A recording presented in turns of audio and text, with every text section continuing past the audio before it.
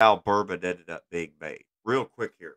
So there's this preacher that lives northeast of Lexington, Kentucky, by the name of Elijah Craig, and he put his whiskey into barrels on flatboats to go downriver from down the Kentucky River to the Ohio River to the Mississippi River, all the way to uh, New Orleans. Anyways, uh, one the flatboat caught fire, and it charred the barrels, and they saved the charred barrels. Well, when he finally popped the bung, which is the little piece in the side of the barrel that you take out so you can hmm sample it.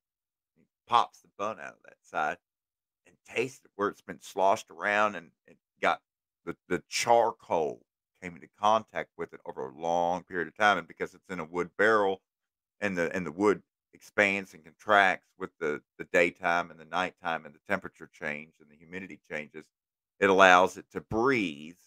And that's part of the aging process of a whiskey.